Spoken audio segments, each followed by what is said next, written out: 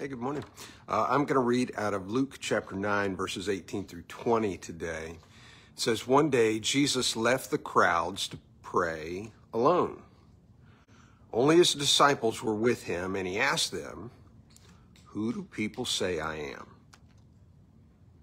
Well, they replied, Some say John the Baptist, some say Elijah, and others say you're one of the ancient other ancient prophets that are risen from the dead. Then he asked them, But who do you say I am? Peter replied, You are the Messiah, sent from God. Now, this passage contains one of the Bible's most important questions.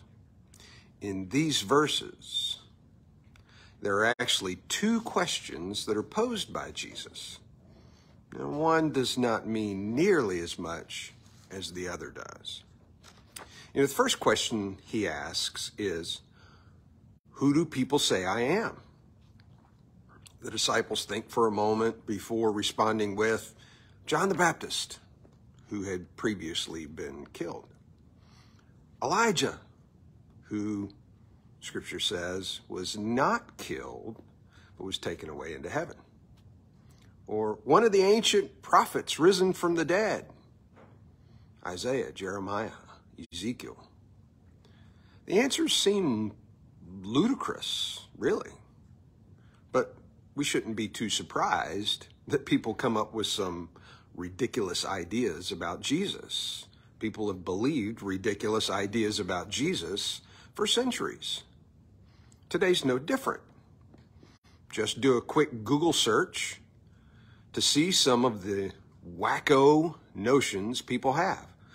No, this is definitely not the most important question.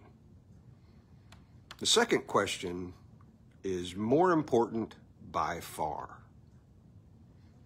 But who do you say I am?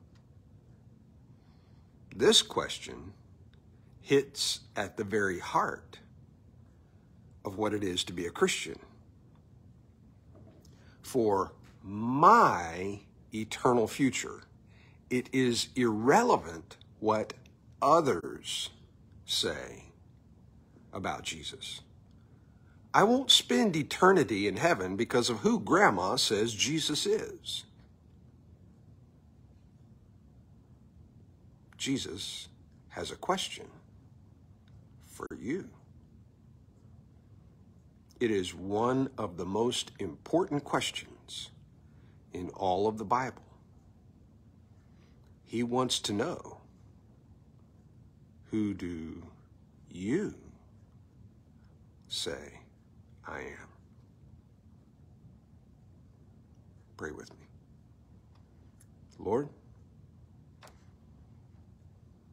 I know that I shouldn't worry so much about what others say about you or about being a Christian or about the church, the body of Christ. Far too often, I allow other people's opinions to influence me. And I realize that people have some pretty ridiculous ideas of who you are. But help me to stay firm and true to your word in answering one of the most important questions I will ever have to consider. Who do you say I, Jesus, am? Lord, I know who you are. You are the Savior, the Messiah, sent to die on the cross to pay for my sins, in whom I have placed my faith and trust, and will spend all eternity with. That's who you are to me. Jesus' name, we pray. Amen. Okay, friends. Hope you have a great day. God bless you. See you again tomorrow.